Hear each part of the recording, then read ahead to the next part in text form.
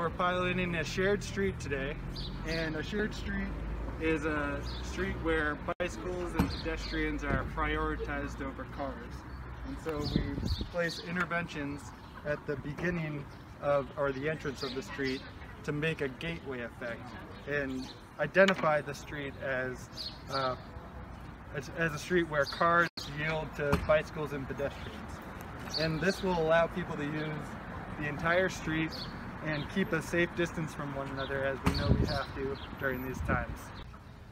We place planters and cones in the middle of the street and tighten the roadway to create a pinch point for cars to ha that have to slow down.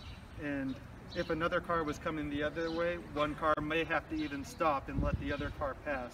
And this would slow down traffic and hopefully reduce the amount of cut through. So we applied for a grant through Mass DOT, the Shared Streets and Spaces grant, to pilot four shared streets in Andover, Summer Street, uh, Park Street, Whittier Street, and Punchard Street, where we are now.